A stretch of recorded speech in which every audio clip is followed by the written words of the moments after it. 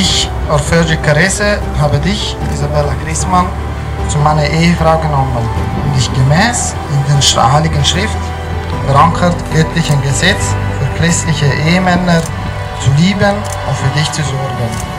Solange wir beide unter der göttlichen Ehevereinrichtung leben. Io, Isabella Christman, ho preso te, Orfeo Cicarese, come mio legittimo sposo per amarti, aver cura di te e rispettarti profondamente.